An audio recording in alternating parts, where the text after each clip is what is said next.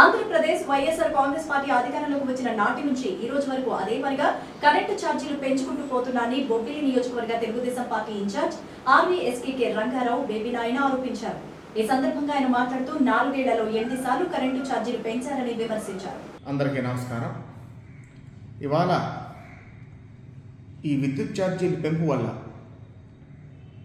సామాన్య మానవుడికి అందుబాటులోని లేని విద్యుత్ ధరల వల్ల ఈ రాష్ట్ర ప్రభుత్వం ఏ విధంగా ఈ రాష్ట్ర ప్రజల్ని అన్ని వర్గాల ప్రజల్ని ఇబ్బంది పెడుతుందో దాన్ని హైలైట్ చేయడానికి ఈ వీడియో ద్వారా మీ ముందుకి రావడం జరుగుతుంది.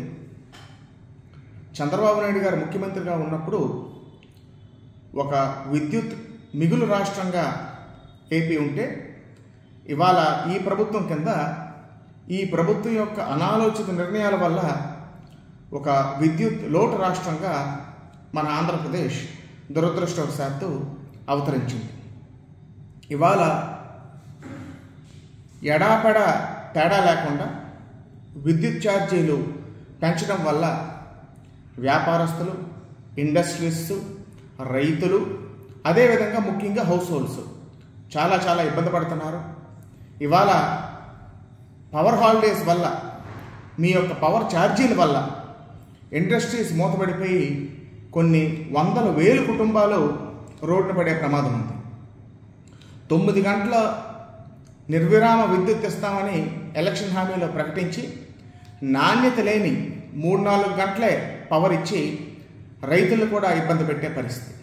ఇవాళ కరెంటు కోతల వల్ల ఈ వేసవ కాలంలో సామాన్య ప్రజలు ఎంత ఇబ్బంది పడుతున్నారో మనందరం కూడా ప్రత్యక్షంగా చూస్తాం. విద్యుత్ ఛార్జీలు సామాన్య మానవుడికి అందుబాటులో లేకుండా పెంచినా పోనీ నాణ్యమైన విద్యుత్ ఇస్తున్నారంటే అది కూడా లేదు. లో వోల్టేజ్ సమస్యతో అవ్వనివ్వండి అదేవిధంగా పవర్ కట్స్ వల్ల అవ్వనివ్వండి ఈ రాష్ట్ర ప్రజలు మరి చాలా చాలా ఇబ్బంది పడుతున్నారు.